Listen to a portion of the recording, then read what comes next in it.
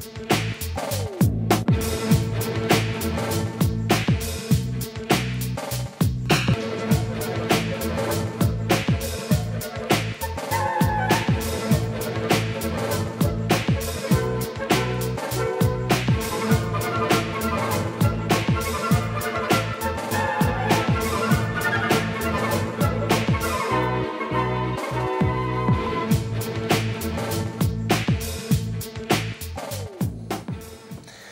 Bonjour à tous. Aujourd'hui, dans KTO Magazine, nous avons la joie et l'honneur de recevoir Yvan Levaille. Yvan Levaille est devenu une référence pour bon nombre de journalistes.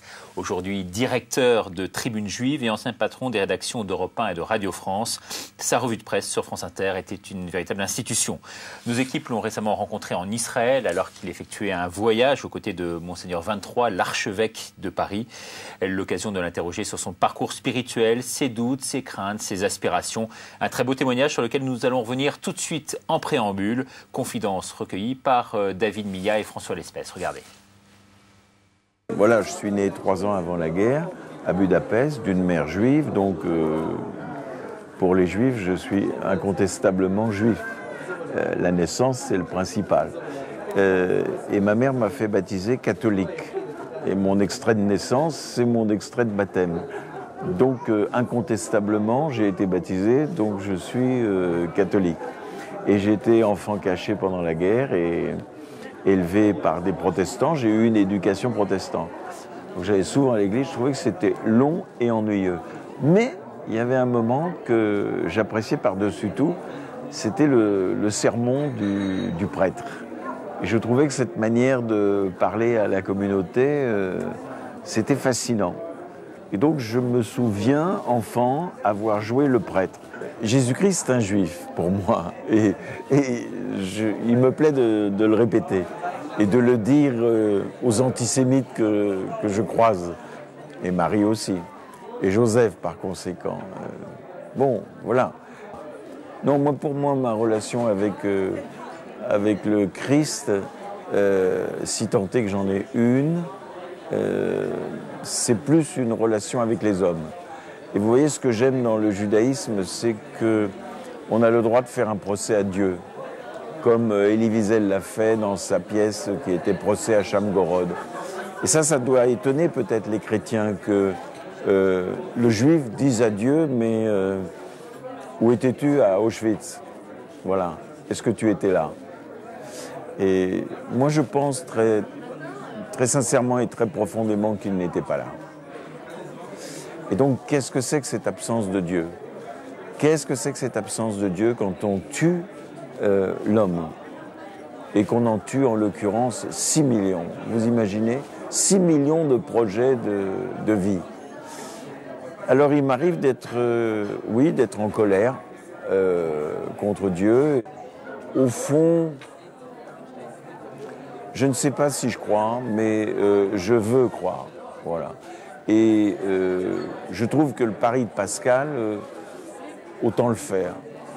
Mais euh, peut-être que le paradis est dans la vie. vous savez, les juifs, quand on trinque, on, lève son verre à la vie.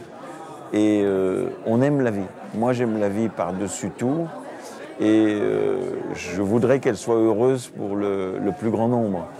Moi, quelquefois, je me dis, tous ces bonheurs que j'ai vécus, que j'ai eus, même si ça a très mal commencé parce que j'étais orphelin. Bon, mais euh, les grâces, je les ai eues ensuite. Alors voilà, j'ai des moments où j'ai envie de rendre grâce aussi. Et j'ai des moments où euh, j'ai envie d'appeler euh, à la protection de tous ceux que j'aime et à la bénédiction de l'esprit comme disait Mitterrand. Euh, je le cite, lui, parce que... Euh, bon, je cite un homme politique qui, en nous quittant, euh, lors de ses derniers vœux, a répondu à votre question en disant, voilà, je ne serai plus là l'année prochaine, mais de là-haut, avec les forces de l'esprit, je... Au fond, il laissait entendre qu'il continuerait de protéger un peuple qu'il aime, le peuple français. En vieillissant, je, je pense à celle qui ne m'a pas accompagné, qui était euh, ma mère, et euh, disons que je sens plus que jamais sa présence. Alors qu'elle est morte en 41 et qu'elle est dans une fosse commune, elle n'a même pas de sépulture. C'est-à-dire, je ne peux pas aller. Euh, il n'y a pas d'endroit au monde où je puisse me recueillir sur la tombe de mes parents. Mon père a disparu dans des conditions que je ne connais pas. Donc je ne sais rien de... Et pourtant, euh, ma mère est présente comme jamais. Voilà. Je vais au mur des lamentations et je retrouve ma mère. J'entre dans une église et, ma mère me parle. Euh, les mécréants diront que c'est un signe de gâtisme précoce. Non, pas du tout. C'est euh, un retour sur soi ou c'est une manière de, de boucler la boucle et euh, de trouver un, sens à, sa vie. Non, le monde n'est pas absurde euh, euh, si nos destins ne le sont pas. Et il est impensable qu'un esprit, que Dieu ait voulu un monde absurde. Voilà si on se parle pour rien, si on se rencontre pour rien, euh, et si ça ne débouche sur rien, s'il n'y a pas de progrès des hommes, si euh, l'homme ne vit pas dans l'homme, euh, alors à quoi bon? Alors on va revenir d'emblée dans cette émission sur votre parcours, hein, puisque c'est la tonalité un peu de, ce reportage. Vous n'aviez que 4 ans, hein, c'est ça, lorsque votre euh, maman, donc Lily, originaire de, Hongrie, meurt euh, à l'hôpital Cochin à Paris. Vous vous souvenez, vous, un peu de, Vous avez quelques, quelques images encore présentes dans votre texte de cette période-là? Non, non, parce que euh, quand on, on, fait un effort de mémoire, au fond, ce qu'on vous en a dit euh, se mêle à ce dont vous vous souvenez. Je ne sais pas du tout quelle est euh, la densité des, souvenirs d'un enfant et à quel moment ça commence. Et donc je ne sais pas si je me souviens de ce qu'on m'a raconté ou euh, si je me souviens d'elle. Mais vous voyez, je viens d'avoir 70 ans et euh, ma femme m'a fait un, cadeau extraordinaire, c'est-à-dire elle a détaché la photo du seul document que je possède, qui est le passeport euh, de ma mère, et euh, c'est la seule pièce, c'est tout ce que j'ai. Et sur ce passeport, il y avait une photo d'identité, et ma femme a fait agrandir cette photo, et désormais j'ai le visage de ma mère chez moi. Voilà. Et, je la vois avant de me coucher tous les soirs, et je vois, j'allais dire, une une bonne bourgeoise euh, d'Europe centrale avec un col de fourrure, etc. Et donc, euh, elle, elle réexiste. C'est pour ça que j'ai envie de dire, on est tous les, on doit être euh, les conservateurs de la mémoire. Et il faut pas jeter les papiers, il faut pas jeter les documents, il faut les garder précieusement. vive les civilisations où il y a des bibliothèques, les musées où on montre des tableaux, des photos d'autrefois, parce que vraiment, on prolonge ainsi la vie de ceux qui sont morts. Et sa mémoire se perpétue au quotidien, ce que vous disiez dans, le reportage, finalement, avec une présence euh, qui est là, quasi constante. Oui, et en même temps, je trouve que c'est une, une revanche euh, incroyable sur l'existence, parce que euh, quand j'ai écrit ce chapitre, je me suis demandé si c'était très pudique de dire, de commencer un livre sur Israël en, comme premier chapitre en disant Maman Lily. Mais euh, c'est quand même extraordinaire. J'ai dû dire maman Lily euh, en, hongrois, puisque à 4 ans je parlais pas le français, donc je parlais le hongrois. J'ai plus aucun souvenir de cette langue. Ma langue aujourd'hui, c'est ma patrie. Ma langue, c'est le français. Et je me dis, voyez, regardez, vous me, vous m'invitez et je donne une dimension publique à, une femme qui a été jetée euh, dans la fosse commune pire moment de l'histoire de France. 41, vous vous rendez compte? 41. Et moi, je me souviens que d'une chose, et tous ceux qui ont euh, mon âge s'en souviennent aussi, non seulement les nazis étaient là, non seulement la France était par terre à ce moment-là, non seulement on, demandait aux enfants juifs de porter une étoile, privilège, euh, si je puis dire, moi, euh, baptisé catholique, je n'ai jamais porté l'étoile. Mais j'ai vu des gosses qui avaient l'étoile qui disparaissait de l'école publique dans laquelle j'allais, et, et on donne une dimension publique Maman Lily, euh, à quelqu'un euh, qui a eu une existence euh, fauchée au pire moment de l'histoire de France. Et au fond, pour que je survive. Vous voyez? C'est ça. Je, je, vis parce qu'elle n'est pas restée à Budapest. Si ma mère était restée à Budapest, si elle n'avait pas voté avec ses pieds, si elle n'avait pas eu envie d'aller ailleurs, eh ben j'aurais vécu quoi? Les deux affreux de l'histoire européenne.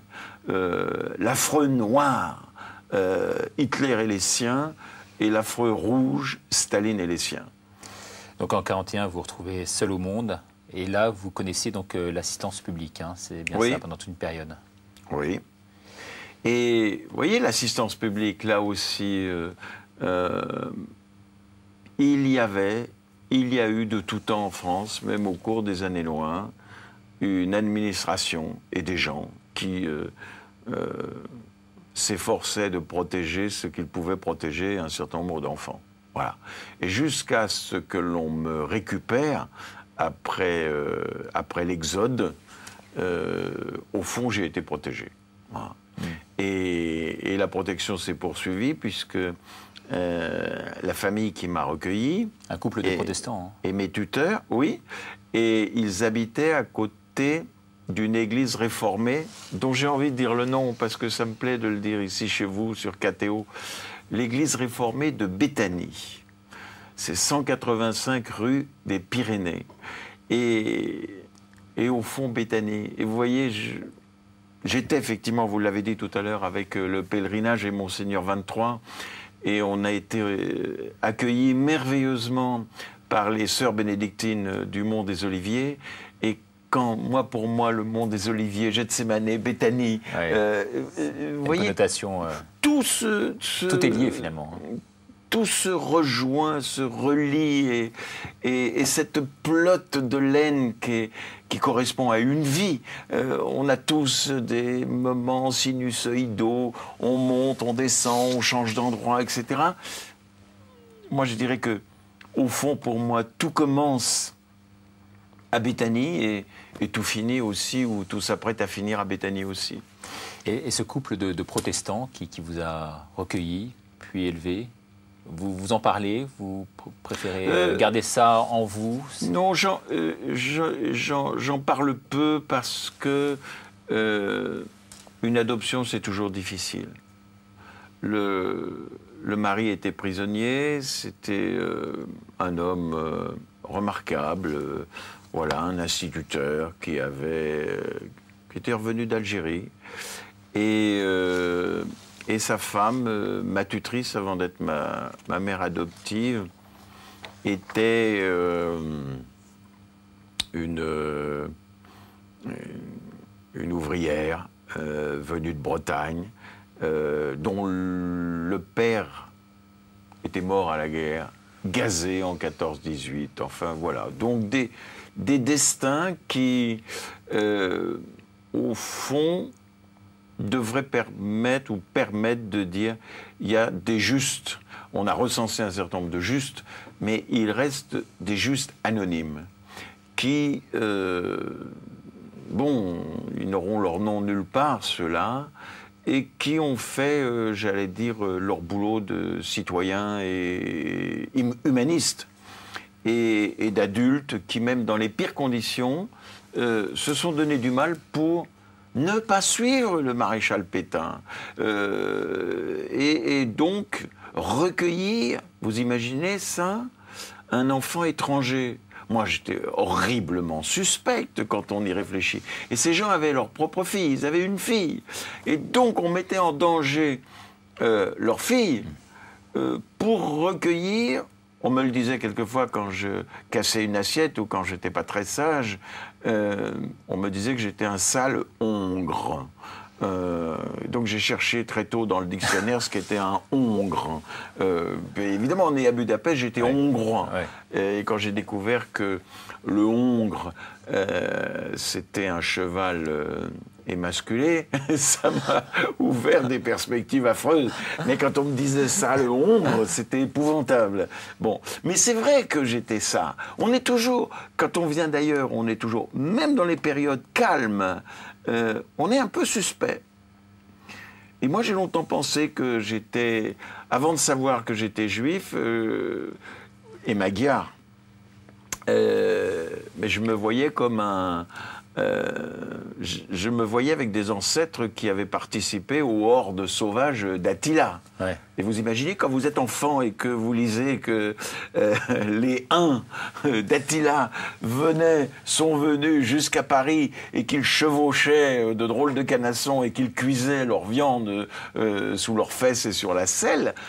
Hum, j'ai toujours considéré que c'était inouï d'avoir ce privilège d'être, j'allais dire, un petit Français comme les autres. Et vous voyez, enfant, et longtemps, euh, avant même de savoir que j'étais juif, je me suis dit, je suis pas tout à fait un Français comme les autres. Alors, ça crée des choses qui vous restent dans votre vie d'adulte. Hein. Aujourd'hui, là, on est en train de se parler et euh, il y a des gens qui sont dans notre pays euh, des immigrés. Et d'ailleurs, on confond deux sortes d'immigrés. L'immigré légal, moi je suis un immigré légal, et l'immigré illégal. Le clandestin. Oui, le clandestin. Et moi j'hésite un peu aujourd'hui à parler, dire, euh, euh, de mélanger tout, en disant, euh, ce sont des sans-papiers. Parce que, au fond, le sans-papier, théoriquement, je devrais être très proche, et, et je le suis. mais je vois qu'aux États-Unis, on dit les immigrés illégaux. Hmm. Et je trouve qu'on devrait le dire chez nous aussi, voyez Et en même temps, je me dis heureusement que la France euh, a accueilli euh, et accueille depuis des siècles et des siècles des gens qui viennent d'ailleurs. D'abord, euh, j'en profite puisque vous m'interrogez, même si c'est pas tout à fait ça. Moi, je rêve et je souhaite une France de 100 millions d'habitants. Bah, Parce que si on n'est pas 100 millions, on ne compte pas. Et je, me, et je trouve que cette République est extraordinaire. Cette République qui prend un petit étranger, orphelin comme moi, euh, et qui m'autorise à parler pendant 40 ans, 45 ans à la radio, je me dis, euh, et elle le fait pour moi, mais elle l'a fait pour des autres pour des tas de gens, des Polonais, des Italiens, euh, et aujourd'hui, Dieu merci, des Maghrébins qui sont installés.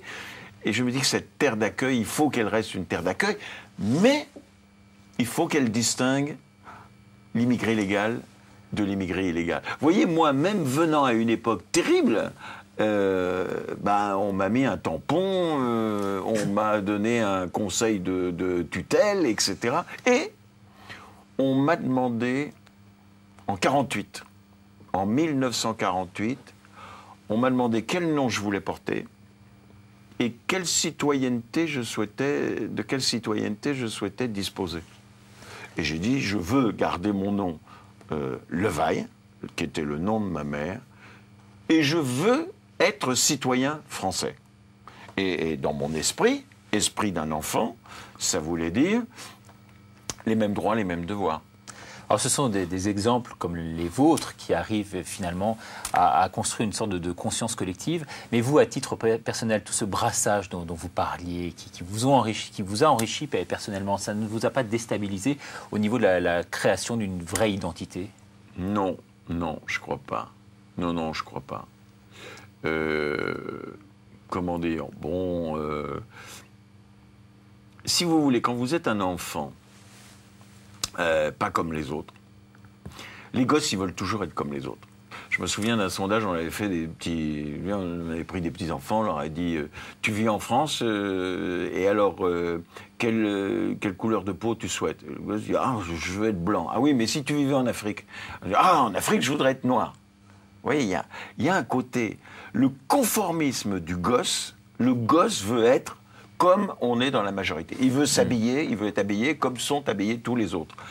Et euh, moi, j'ai souffert d'être différent euh, pendant euh, mon enfant. Et vous voyez, quand on remplissait à l'école les fiches, euh, nom du père, oh, euh, je ne connais pas. Nom de la mère, ah, et la situation de famille et tout. Oh, c'était éprouvant. On remettait, moi je remettais ma fiche et j'étais gêné. Et je me disais, oh, et alors j'enviais, je voyais des gosses, il y avait le petit euh, Jean Dupont, euh, Claude Durand, euh, dont les parents, Oh, alors les parents, tes parents ils sont d'où toi? Ah de la Sarthe, mon Dieu, quelle chance ils ont, quel bol, peau. Euh, et moi, moi, et moi, euh, Budapest, le fleuve, le Danube, c'est pas la Seine, c'est pas la Loire, c'est pas le Rhône, c'est pas la Garonne. Oh, quelle horreur Et donc, ça, si vous voulez, le côté, euh, ça vous marque pendant un temps. Et je dirais même, c'est une souffrance et c'est un malheur qui est gommé après lorsque, euh, comment dire, Eh ben, lorsque comme les autres, on est, on est fier d'être français. Mais je me demande si la fierté de l'immigré naturalisé n'est pas plus grande que euh, la comment dire l'exacerbation euh, euh, de Le Pen. Je dis ça parce qu'un jour j'ai été interviewé en Suisse. J'ai été face à Jean-Marie Le Pen dans un débat. Il y avait une sorte de procès qui était fait à Le Pen. Moi, j'avais eu le droit d'aller en Suisse et pas lui. Et et je me souviens lui avoir dit, dites donc vous là, euh, quel effort vous avez fait? Vous vous êtes, vous vous êtes donné la peine de naître à la Trinité-sur-Mer Vous avez fait aucun effort. Donc vous êtes breton, vous. Mais moi, mais moi, vous imaginez? Effort de ma mère qui choisit la France pour déposer son rejeton. La voilà l'image de la France. Moi, il a fallu deux générations pour que, eh bien, eh bien, il y a une fierté du français qui vient d'ailleurs qui est devenu français. Voilà. Ouais, c'est toute la, la différence entre l'inné et Mais j'insiste là-dessus, hein, parce que j'insiste là-dessus parce que ces idées-là, euh, curieusement, on ne les évoque jamais. On ne voit que des gens qui pleurnichent en disant il faudrait, etc. Et j'en profite aussi pour dire, regardez, comme je suis venu, j'ai pas de kippa. hein. Hmm. Et, et il me viendrait pas l'esprit, euh, comment dire, euh, d'être voilé. D'ailleurs, on, ne me le demande pas. On va, on va parler dans, dans un instant de, de votre voyage en Israël, qui a été pour vous un voyage initiatique, je crois, en 58, Le premier, hein, Ouais. ans après, après Ouais. Kessel. On va en revenir dans un instant. Mais avant cela, puisque vous parlez de- d'hommes politiques, justement, on, on connaît votre sensibilité, hein, plus- plutôt, plutôt à gauche. Est-ce que vous vous sentez proche aujourd'hui d'un type comme Sarkozy, par exemple, compte tenu de son parcours et de son Eh ben, itinéraire eh ben, écoutez, avec Sarkozy, j'ai un point commun qu'on a évoqué euh, ensemble il y a longtemps, il y a des années. Des années. Euh, je me souviens d'un déjeuner, il était à Neuilly, il m'a invité à déjeuner à Neuilly, on s'est parlé. Moi, je l'ai connu, j'allais dire, euh, bon, c'est le privilège de l'âge, je, l'ai connu euh, tout jeune homme, Sarkozy. Et je voyais qu'il avait du bagou, du talent, etc. Mais enfin, bon, son parti, c'était pas ma tasse de thé. Bon, je cache pas ce qu'a été, qu'on appellera mon mitterrandisme. Moi, j'aimais bien Mitterrand. Bon. Voilà, et je le dis aujourd'hui. C'est pas bien de le dire, c'est pas chic, mais je le dis quand même. Et je l'ai qui avait une été. dimension spirituelle, hein, vous en parliez dans le reportage. Oui, hein. oui, oui. Bon, et je trouve que euh, il fait partie des gens. euh, il a été, euh, même si son premier septennat est mieux que le second, il a été un, un très grand président pour la France, et c'est grâce à lui qu'on a l'alternance. Et l'alternance, c'est très bien. Bon, euh, je ferme la parenthèse, je réponds sur Sarkozy. Et Sarkozy, il a un point commun, si je peux dire, ou j'ai un point commun avec lui. Bah, c'est l'itinéraire de vie. hein. La Hongrie. La Hongrie. Voilà. On est euh, euh, origine hongroise, euh, tous les deux. Et comment dire? Moi, je ne le diabolise pas, Sarkozy. Alors, je ne sais pas ce qui va lui arriver. Il a de grandes chances d'être euh, président de la République. Je ne dis pas ça parce que ce sont les sondages, mais bon, je crois qu'il le sera. Euh, J'en profite aussi pour dire que euh, moi, je n'en attends rien. Donc, vous voyez, je n'attends aucun cadeau, rien. aucun- ben. Et il n'attend rien de moi non plus. Et donc, je suis assez libre pour vous répondre que j'en ai marre des diabolisateurs. Voilà. C'est-à-dire de ceux qui disent. D'abord, j'ai entendu tellement de gens dire euh, facho Chirac. Euh, Chirac, il n'est pas fasciste. Euh, Chirac, il était radical et de gauche. Euh, J'allais dire, Chirac, il, a le, il avait le cœur à gauche. Il a joué à droite, il avait le cœur à gauche. Et puis aujourd'hui, je vais vous mettre à l'aise, je vais vous dire. je trouve Vous voyez, je vais dire quelque chose comme ça, l'échiquier politique, il est très marrant. Mais je le dis à force d'avoir observé les choses et les gens. Je crois Ségolène Royal plus à droite que Nicolas Sarkozy. Mais ça n'engage que moi. Hein. Ça n'engage que moi. Quant à moi, euh, je vais vous mettre à l'aise en vous disant, je suis pour euh, vraiment une plus grande et une vraie justice sociale. Je trouve que les riches sont trop riches, que les pauvres sont trop pauvres, et quelque chose me dit qu'on devrait mieux partager en France. Bon, mais mais, ce, quelque chose, c'est la Torah, c'est l'Ancien Testament, c'est la Bible Non, non, non, non, non, non. Simplement, on peut pas, on peut pas être heureux dans un pays où les gens. Attendez, vous voyez, vous, on est là tous les deux, bien habillés, en bonne santé, on a bien mangé, etc. Bon, quand on est face à quelqu'un qui crève de faim, euh, notre bonne santé, notre belle allure, euh, on est honteux de ça, parce qu'on se dit, au fond, il suffirait de peu de choses. Je ne crois pas forcément à l'espèce de, vous voyez, le manteau de Saint-Martin. Saint-Martin, il hmm. le donne une fois, il le coupe en deux pour réchauffer un type. Mais si tous les deux, on va le couper encore, on, va être 9 milliards sur cette terre. Donc, euh, c'est terrible de devoir s'accommoder de la misère. Et mais en même temps, je me dis, moi, je ne crois pas dans le socialisme de redistribution. Si vous voulez, je, je vais me définir très clairement. Au fond, je suis une sorte de social-démocrate j'ai été euh, communiste quelque temps à 20 ans, pas longtemps, hein, pas longtemps. Après, j'ai dit, il euh, faut que je fuis euh, l'ensemble des partis politiques. je me suis dit, quel courage d'être dans un parti, c'est horrible, les appareils, la hiérarchie, le côté, la lutte pour les places et tout ça. Ça, j'aime pas trop. J'ai dit, soyons un observateur engagé. Et eh bien aujourd'hui, l'observateur engagé vous dit que je crois que parmi les 12 candidats à l'élection présidentielle, si demain ils devaient, miraculeusement, vous les faites entrer les uns ou les autres euh, à l'Élysée, ils font tous à peu près la même chose. Sauf un. Sauf un. Oui, j'imagine lequel. Non, non, non. Euh, euh, deux peut-être d'ailleurs. Oui. Attendez, j'en mets deux comme ça. Deux. Les deux, extrêmes Vous voulez que je dise lesquels? Est-ce que j'ai le droit de le ah, dire? bah, Allez-y. Voilà. Moi, pour rien au monde, les moustaches de, de, de Beauvais à l'Élysée. Bon, il n'y a, aucune frayeur, aucune inquiétude, etc. Et pour rien au monde. Le Pen, j'imagine. Le, voilà, voilà. Alors lui, euh, c'est un, c'est un vieillard. Euh, j'en parle parce qu'il y a peu de différence d'âge entre lui et moi, mais c'est un vieillard. Euh, il sait qu'il sera jamais président. C'est le démagogue des démagogues. Et, et, et alors là, pour le coup, si c'est lui, mais ça ne sera pas lui, ça ne peut pas être lui. Dieu merci, 80% des Français diront non. Donc je ne cherche même pas à me faire peur. Mais si d'aventure c'était lui, euh, je ne sais pas, qu'est-ce qu'il faudrait faire? Quitter le pays? Non, croiser les bras, s'asseoir par terre et dire non, non. La, la République française comme ça, c'est pas possible. Et j'en profite aussi pour dire une chose. Moi, sur le tard, je suis devenu chiracien. Voilà.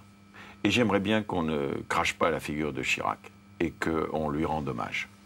Parce que je sais que c'est de bon ton, c'est pas la mode de dire, hein. vous voyez, hein, aujourd'hui, c'est pas la mode de parler de lui. Mais finalement, il est là depuis longtemps, Chirac, mais il a tenu bon là-dessus. Je dirais d'ailleurs, il a tenu bon contre l'antisémitisme, contre le racisme, ça je lui serais éternellement reconnaissant de ça. Et puis il a tenu bon contre Jean-Marie Le Pen, y compris face à ces mecs enfin face à ses mecs, mm. face à ses supporters qui lui disaient mais quand même ce serait tellement plus facile, euh, allons, allons, euh, on les embrassera pas sur la bouche mais on les fait venir avec nous. Voilà. Alors vous donnez des gages, je suis atypique, hein, vous donnez des gages à tous les hommes politiques, hein, mis à part deux, on, aura compris. Vous aurez un peu tout testé. Est-ce que et votre votre démarche, votre mentalité journalistique vous vient d'où en fait? C'est nourri de quoi? Cette volonté ben, de, prendre le contre-pied finalement par rapport à tous les Non, non, non. Je crois que je crois que quand on est minoritaire, euh, on est un peu rebelle. Moi, vous voyez, même aujourd'hui, je conseille à mes étudiants, à mes enfants, tout ça, je leur dis, écoutez, allez vous acheter vite dans une librairie, allez vous acheter Antigone. Euh, alors prenez l'Antigone d'Anouilh et lisez Antigone attentivement. Lisez à haute voix Antigone. Et vous comprendrez tout pas les deux traîtres, pas les, frères qui sont des, affreux, des petits salauds. Hein. Euh, c'est des miliciens. Hein. Euh, il y en a un qui s'appelle euh, Patrocle, je crois, j'ai oublié le nom de l'autre. les deux frères qu'elle veut, que Antigone ensevelir. Mais un, Antigone est une femme formidable. Elle, Elle dit, comme Mitterrand, la force injuste de la loi. C'est-à-dire, il y a une loi, mais j'en ai rien à foutre. Euh, la vraie loi, c'est celle de l'humanité. On doit. Moi, je ne laisserai pas mes, mes- mes frères sans sépulture. Donc, c'est la rebelle, c'est la femme qui dit non, Antigone. C'est De Gaulle, d'une certaine façon. Ouais. Elle dit non. Et Créon, Créon, Créon qui dit il faut pourtant qu'il y ait quelqu'un qui fasse le sale boulot. Euh, euh, il dit à Antigone, mais essaie de me comprendre, petit imbécile, je suis bien obligé.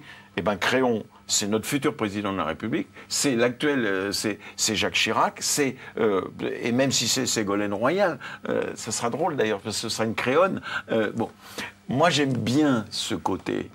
Vous imaginez la démocratie, on désigne quelqu'un pour, au fond, nous représenter tous. Vous, moi, les autres, celui qui a, qui bas. Comment voulez-vous qu'il...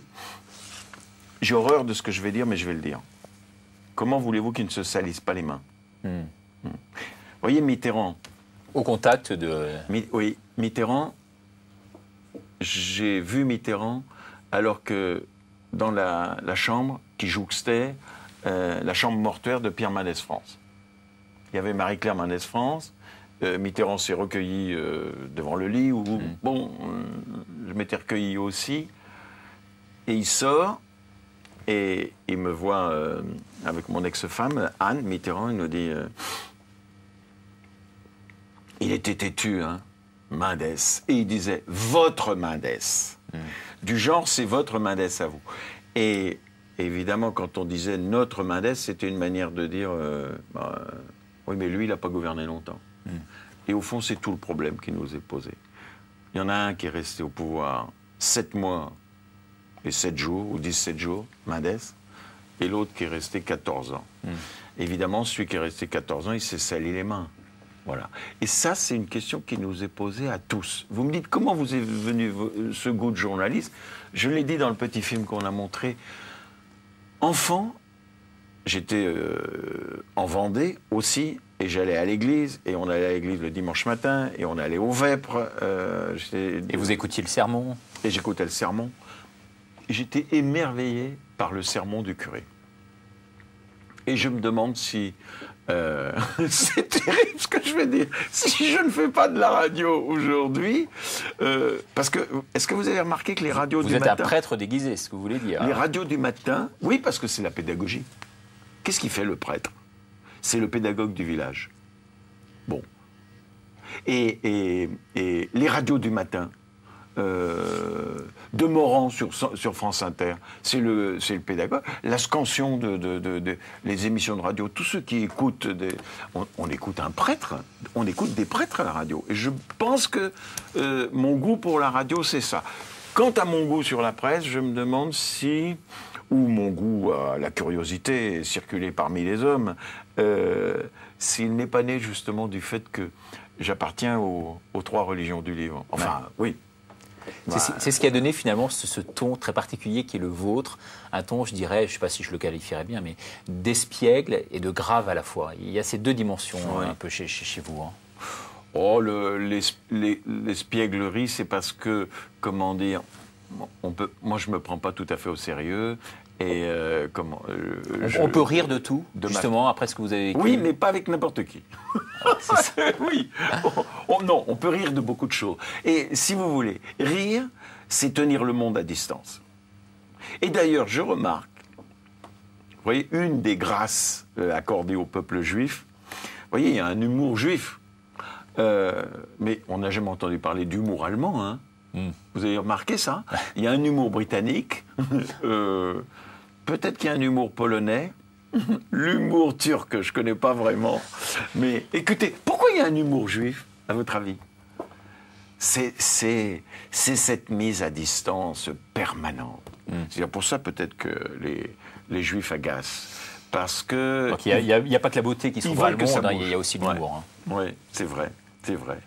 Mais, alors, euh, j'en profite pour dire, euh, approchant euh, quelques évêques de notre cher et beau pays et de votre belle Église, euh, il y a un humour épiscopal euh, que je ne déteste pas. Alors justement, vous, vous parlez de l'Église, donc on, on en profite pour, pour en parler. C'est vrai que les, les rapports avaient été très tendus hein, depuis la, la Shoah, notamment entre euh, l'Église euh, catholique et même bien avant, hein, entre l'Église catholique et, et le monde juif. Aujourd'hui, il y a eu un rapprochement vraiment qui, s'est- qui s'est opéré. Oui. Vous pensez que c'est dû notamment à, à Jean-Paul II, à Nostra Aetate, à toutes ces euh, différentes Moi, je, je crois qu'on a eu manœuvres qui ont permis ce- ces rapprochements au final? Dans une histoire qui euh, coïncide euh, avec euh, ma génération, on a eu la chance d'avoir, j'allais dire, des papes très différents, mais des papes qui ont compris le monde. Même si on leur reproche aujourd'hui, il est de bon ton de reprocher le décalage sur les mœurs, etc. Bien sûr qu'il y a un décalage, c'est vrai, il y a un décalage. Mais ce n'est rien comparé à l'aggiornamento, qui est, euh, ben, on ne reviendra pas euh, sur euh, ce qui s'est passé, sur, on ne reviendra pas sur le silence du pape. Voilà. Bon, moi j'ai beaucoup d'amitié, beaucoup de respect pour René Raymond, et donc et j'ai beaucoup d'amitié pour euh, mon ami Costa Gavras et donc euh, euh, et aussi pour son film Amen. Amen. Et mais je trouve que là, la succession des papes, elle a été formidable. Elle a été formidable. Je ne vous cache pas que Sur Pie XII, vous avez quelle, vision alors, justement, en, en l'occurrence? Ben, moi, j'ai euh, j'ai j'ai une vision qu'on pourrait considérer comme euh, détestable. Je trouve que Pie XII savait et euh, il n'a pas crié. Et je pense que. vous voyez, ce qui me plaît aujourd'hui, c'est euh, les cris des chrétiens d'aujourd'hui. Et je trouve, alors j'ai comme tout le monde, une, admiration folle pour Jean-Paul II, euh, qu'on a considéré comme un pape réactionnaire. C'est pas vrai, c'est pas vrai. Il a, il a redonné à l'Église une place euh, qui est aussi une place politique, mais qui est, il a donné à l'Église une dimension absolument formidable, formidable. Et d'ailleurs, les jeunes ne s'y sont pas trompés. Bon. Et je voudrais dire quelque chose de, de Monseigneur Lustiger, parce que je l'ai beaucoup admiré, beaucoup respecté. J'ai bien aimé cet homme-là. Euh, J'aime bien les intellectuels de l'Église. Et euh, j'allais dire, je suis impressionné par leur foi. J'allais dire, j'ai toujours été impressionné par euh, la foi et l'intelligence et l'authenticité de cette foi. Et vous voyez, je ne connaissais pas trop Monseigneur euh, 23. Et au cours de ce pèlerinage euh, en Israël, j'ai découvert un homme qui n'est pas Monseigneur Lustiger. Il ne lui ressemble pas. Mais vraiment, je l'ai vu en Terre Sainte marcher avec euh, une certitude, une force et un allant qui me fait penser que l'Église d'aujourd'hui a compris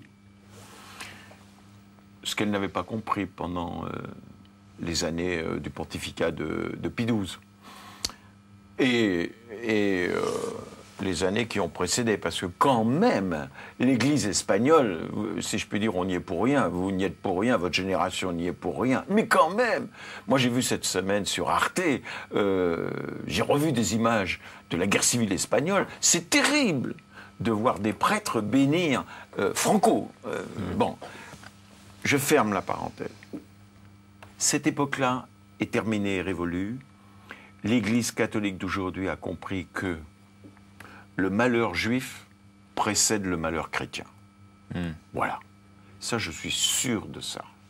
Et je l'ai vérifié au cours du pèlerinage que vous évoquiez tout à l'heure, à Bethléem, où l'air de rien. Sparte de Bethléem aujourd'hui, est-ce que vous le savez ça? Les chrétiens, les arabes chrétiens de Bethléem, qui étaient 75% euh, il y a quelques années et qui sont tombés à 37-40%. Et qui part? Ceux qui ont une formation, un métier, etc. Et ils s'en vont, pourquoi? Parce qu'ils désespèrent de l'avenir. Et il faudrait s'interroger sur euh, qu'est-ce qu'il y a dans leur désespoir. Ils ont peur de quoi? Et moi, je dis aujourd'hui que ceux qui détruisent les synagogues, eh bien, détruiront les églises et les temples. Et ça, cette conscience-là d'une barbarie qu'on doit combattre ensemble me paraît plus forte que jamais. Et présente aujourd'hui dans le, Dieu merci, il y a eu, si vous voulez, une, une prise de conscience des judéo-chrétiens. Voilà, nous sommes des judéo-chrétiens. Il ne faut pas avoir peur de le dire. Et d'assumer son passé, et d'assumer nos erreurs. Et de se dire aujourd'hui, voyons-nous, travaillons ensemble. Voyez, moi, à Tribune Juive, je suis à Tribune Juive, et je m'occupe de Tribune Juive, et je veux favoriser le dialogue, euh, enfin favoriser, y aider et y contribuer. Mais le, dialogue, le dialogue entre les juifs et les chrétiens. C'est la clé de tout. Mais quand le pape Benoît XVI, dans un plaidoyer récent, dit qu'il faut pratiquement remonter, hein, même jusqu'à Aristote, jusqu'à Platon, vous, êtes d'accord avec ça? Ça. Euh, vous voyez ce qu'il y a dans le monde mis à distance euh, Je fais pour les papes la même mise à distance que celle que je fais pour les politiques. C'est-à-dire que... Ça ne vous empêche pas de changer d'avis au fil du temps, on l'aura bien compris également à travers vos interventions. Des hommes que vous condamniez un temps, euh, finalement avec l'expérience. Mais parce que les hommes changent. Mais parce que les hommes changent. Euh, vous savez, euh, moi j'ai cru à un moment, avec ma génération, j'ai cru que on pouvait crier Vive Staline Et j'ai beaucoup d'admiration pour un journaliste euh, bordelais qui s'appelle Jean Lacouture, qui est un type formidable. Euh, Jean Lacouture, il a fait, si je puis dire, pire que moi. Il a cru euh, à la révolution au Cambodge. Seulement, il a écrit un livre pour dire Mon Dieu, mon Dieu. Et je voudrais que tous ceux qui se sont trompés disent Je me suis trompé. moi, comment dire J'ai été lecteur des lettres françaises. Euh, j'ai cru que Kravchenko était un, salaud. Mais je l'ai cru avec les intellectuels de mon pays. Vous voyez, bon, euh, voilà, euh, repentons-nous. C'est ça. Vous identifiez avec ces, ces, démarches de repentance, de contrition des, des chrétiens aujourd'hui. Moi, je refuse de dire, de dire que l'actuel pape, c'est un pape allemand, etc. Je, je, je, refuse ça. Ça, ça m'est insupportable. De la même manière, que tous ceux qui ont diabolisé Ariel Sharon ou tous ceux qui diabolisent encore autour de nous euh, Bush, j'en profite aussi pour dire que Bush c'est pas c'était pas mon président à moi. Hein. Euh, j'aurais voté euh, Kerry aux États-Unis. Mais ce côté, les malheurs du monde, c'est Bush, etc. Non, vous voyez, moi je distingue plusieurs choses. Je distingue le peuple chrétien de ses dirigeants et de sa hiérarchie. Après tout, on se trompe sur quelquefois. Euh, on peut se tromper. Euh, j'aime pas trop l'infaillibilité pontificale. Bon, mais bon, euh, peut-être que l'Église un jour y reviendra. Et si je puis dire, le célibat des prêtres, c'est pas mon problème, etc. Bon, et les mœurs, elles s'adaptent en dépit de tout, etc. Vous êtes très proche de l'abbé Pierre. et l'Église progresse, et tant mieux. Tout le monde évolue, tout le monde change. Mais moi, je dois dire, je garde pour le peuple américain une estime, c'est-à-dire je me souviens. Hmm. Voilà. J'aimerais bien qu'on vive pas dans un peuple d'amnésique. Et puis j'aimerais bien qu'on dise, hmm. euh, bon, Bush, il n'est pas terrible, Olmert non plus. Euh, mais Olmert, euh, il va être balayé, il va être remplacé. Hein, quand les Israéliens se rendront compte que c'était pas le Premier ministre le mieux à même de. Bon, et Bush, il va être balayé aussi, remplacé, puis on va passer à autre chose. Mais je connais bien des dictatures où le dictateur ne changera pas. Hmm. Vous voyez, bon, là j'exprime mon camp. Mon camp, il est là. C'est la, force de la démocratie. Je me sens plus proche du, du, pape actuel, euh, et je le comprends mieux, le pape actuel, que M. Bachar el-Assad, le Syrien, fils euh, d'Afez el-Assad. Voilà, bon, voilà. Et alors Et quoi? Mais je ne veux pas forcément m'enrôler sous sa bannière, ou plutôt si. Je crois qu'on défend des valeurs communes. Alors, vous, qui justement euh, faites un plaidoyer pour Israël, hein, dans, votre livre euh, Israël, euh, mon amour, vous avez vécu comment les, événements au Liban de l'été dernier? Eh ben, J'ai commencé par les vivre très mal. D'abord parce que je vis mal les. comment dire Je vis mal la guerre obligée que l'on fait à, à Israël depuis bientôt 60 ans. Depuis 60 ans, on livre une guerre à l'État d'Israël.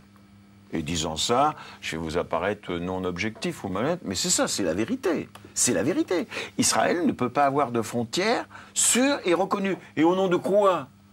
Et il y a encore des gens qui nient l'État d'Israël. Bon. Comment voulez-vous que, euh, quand j'entends euh, mes confrères dire euh, oui, mais le Hamas a fait des progrès, etc. Bah, attendez, qu'est-ce qu'il attend, monsieur Anillé pour dire je reconnais l'État d'Israël. D'ailleurs, il serait très fort s'il disait ça. Je reconnais l'État d'Israël et je lui demande de négocier et de me reconnaître moi aussi le droit à avoir un État palestinien le plus vite possible. Bon. Alors les événements du Liban, je les ai vécus, je peux vous dire, très mal quand on nous a fait croire que c'était une guerre que livrait Israël au Liban c'était une guerre de riposte et de réplique à un mouvement terroriste, et je vais le répéter trois fois, à un mouvement terroriste qui s'appelle le Hezbollah. Voilà. Le Hezbollah, Lionel Jospin l'a dit avant moi, il s'est fait engueuler hein, quand il est revenu, il était Premier ministre, il a dit que le Hezbollah était un mouvement terroriste. Et Alain Juppé, à l'Assemblée, j'étais présent, l'a dit lui aussi et peut-être qu'on l'a engueulé. Non, il ne faut pas dire que le Hezbollah, le Hezbollah exerce un chantage sur le malheureux peuple libanais qui en subit les conséquences. Maintenant, vous voulez que je vous dise quelque chose? J'étais à Haïfa il n'y a pas longtemps. Et à Haïfa, les Katyusha et les roquettes qui venaient du Hezbollah libanais et qui tiraient sur la Galilée, ils tuaient quoi? Ils tuaient plus d'Arabes, qu'on appelle des Arabes israéliens, donc, que de Juifs. Qu'est-ce que c'est que ça, cette hmm. ce type de guerre-là? Non. De votre côté, vous, vous condamnez bien sûr. Mal. Vous condamnez bien sûr les, représailles de, l'été dernier aussi israéliennes, qui ont été quand même euh, euh, malmenées. Hein, c'est moins qu'on dire, non? Quitte à vous choquer, je vais vous dire que moi, je condamne pas. Je, je, euh, je comment dire? Je peux pas condamner. Vous savez pourquoi je peux pas condamner? Parce que moi, si on me tire dessus, ouais, je, bon, hein, euh, celui qui a attiré l'épée périra par l'épée. Eh bien, moi, si vous me tirez dessus, je vous tends pas la joue gauche. Si vous me tirez dessus, je vous tire dessus. Comment voulez-vous? Comment vous Écoutez, pardonnez-moi de vous poser la question sur KTO. Comment, comment, comment ne pas Non, mais tant pis pour vous, fallait pas m'inviter. Euh, si vous voulez, je ne peux pas aimer qui me tue. Voilà. Et donc, si vous voulez me tuer, eh bien, vous courez le risque de l'être, parce que je me défendrai. Pardonnez-moi de vous dire ça, mais je vais quand même le dire. Vous croyez qu'Israël est un... Vous croyez que le peuple juif est un peuple de militaires? Vous croyez que Tzal, regardez-les, les soldats juifs, ils en ont marre de faire la guerre. Vous croyez que ça leur plaît, ça Petit pays, quand quelqu'un meurt dans un char, les gens, ils ne demandent qu'une chose. Mais je vais en profiter pour dire quelque chose. Des deux côtés, vous savez ce qu'il y a de commun entre le peuple israélien et le peuple palestinien? C'est que les femmes, les femmes des deux pays, et les hommes aussi, en ont marre de cette guerre qu'on leur impose. Hmm. En ont marre. Voilà. Qui leur impose? Ben, Devinez. La question vous est posée. La question vous est posée. Moi, je peux vous dire une chose. Israël n'a aucune revendication territoriale sur le Liban. Aucune.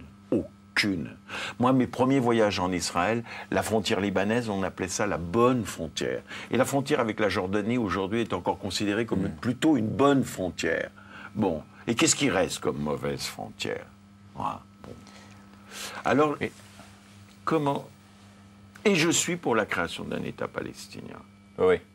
Mais je suis aussi. Et votre, votre vision. Et je l'ai écrit comme à Mossos. S'ils ne peuvent pas s'aimer, s'ils ne peuvent pas vivre ensemble, et dont Léa a divorcé. Mais votre vision, en fait, n'est pas partagée, c'est moins qu'on puisse dire, par le monde journalistique euh, français. Je m'en fous. Et euh, là, vous dénoncez hein, de façon hein. très virulente le comportement aujourd'hui des, journalistes en France. Vous dites euh, finalement ce sont des journalistes de salon qui restent dans leur studio très souvent dans le 16e arrondissement et qui ne vont pas qui ne vont pas sur le terrain et qui manquent de connaissances finalement. Non, je dis simplement vas-y voir. Je, non, non, pas du tout. Ceux qui sont allés. vous voulez que je vous dise quelque chose? Moi, je connais des journalistes pro-palestiniens. Et j'admets qu'on soit pro-palestinien. Même si c'est... Euh, oui. Et moi, d'une certaine façon, je le suis aussi. Voilà. J'ai fréquenté à Paris tous les leaders de l'OLP qui étaient présents, qui étaient, j'allais dire, des ambassadeurs en pointillés. Ezedine Kalak, assassiné. Ibrahim Sous, il a quitté aujourd'hui, il est parti, euh, il vit au Canada. Il est pianiste. Bon, c'est un type absolument formidable. Euh, et cette femme, là, récemment aussi. Leila Chaïd. Leila Chaïd. Bon. Et donc je comprends que ces gens disent on veut une terre, on veut un peuple, on veut un État. Très bien. Euh, néanmoins, néanmoins, être seulement pro-palestinien, c'est vraiment avoir une courte vue sur euh, l'état du monde. Et vous voulez que je vous dise encore le fond de ma pensée, vous me comprendrez mieux. Je ne comprends pas pourquoi mon pays, la France, n'est pas plus proche de la démocratie israélienne. Parce que, que vous le vouliez ou non, Israël est une démocratie. Et je dis qu'Olmert n'est pas un Premier ministre terrible, mais Olmert est le Premier ministre d'une démocratie. Donc on devrait être solidaire de la démocratie israélienne. Et on l'a été sous la quatrième République et on a cessé de l'être longtemps sous la cinquième République. On n'a pas une politique d'équilibre entre les deux. Et mon choix, bah oui, oui, je ne le cache pas. Euh, je préfère Olmert à Bachar el-Assad. Et vous aussi. Je préfère Olmert euh, à M. Signora. je préfère Olmert, oui, même au, au roi de Jordanie. Car c'est pas une démocratie, la Jordanie. Et l'Arabie Saoudite, c'est pas une démocratie. Et demandez-vous si toutes ces dictatures arabes ont envie d'avoir une Palestine démocratique sur leur flanc. Moi, quelque chose me dit que le peuple palestinien souffre, euh, j'allais dire, de ses alliés qui ne sont pas des alliés bienveillants et qui croient que créer là un abcès de fixation, une zone de conflit, ça permet de maintenir l'État féodal. Et je voudrais que les journalistes qui, de Paris, disent voilà comment on règle le problème israélo-palestinien, aillent sur le terrain pour voir cette réalité-là. En tout cas, merci beaucoup d'être venu participer à cette émission. On loue votre engagement hein, et votre. Euh, c'est pas, pas du militantisme, hein, puisque vous, êtes, euh, vous avez un regard quand même assez. Euh, éloigné et distant sur les choses, qui, vous permet d'agir avec un, très bon discernement. En tout cas, merci beaucoup, Monsieur Levaille, d'être venu sur notre plateau. Je rappelle que vous dirigez aujourd'hui Tribune Juive. Euh, voici le numéro 26 de Tribune Juive avec Simone Veil en couverture. Simone Veil qui prend fait et cause, vous savez, dans la campagne pour Sarkozy. Et pourtant. Avec une, avec, une, certaine forme de réserve. C'est-à-dire que son soutien est critique. Et, et si on pouvait tous, comment dire, garder un peu de doute et d'esprit critique euh, dans nos engagements. Oui, moi je suis très, très heureux que vous soyez engagé et je suis très heureux d'avoir pu participer à une semaine de Pâques euh, à votre programme euh, sur KTO. Merci beaucoup, Monsieur Levaille. Merci à vous de nous avoir suivis. Merci de votre accueil. Bien entendu, nous envoyer vos réactions. On ne manquera pas de, les communiquer à notre invité du jour. Donc, sur ce site internet que vous voyez là s'inscrire sur votre écran, réaction au pluriel, ktotv.com. Merci et à bientôt pour un nouveau numéro de KTO Magazine. Au revoir.